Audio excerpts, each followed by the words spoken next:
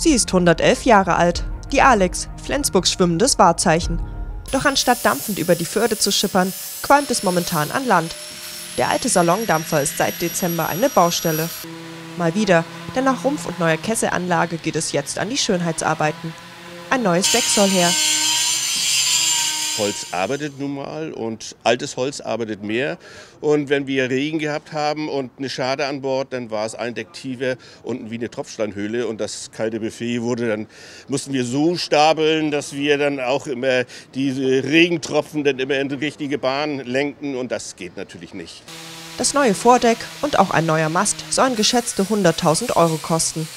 Und das schwimmende Denkmal soll möglichst originalgetreu wiederhergestellt werden.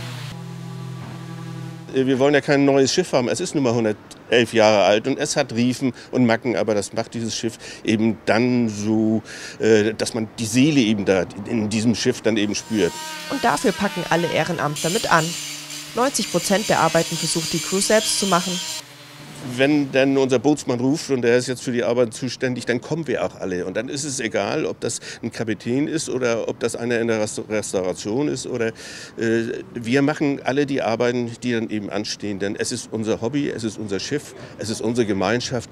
Und so kommt dann dieses tolle Produkt dabei raus. Die Alex soll, wenn alles gut geht, bis zum Frühjahr im neuen alten Glanz erstrahlen und pünktlich zum Saisonstart im Mai wieder auf Fahrt gehen.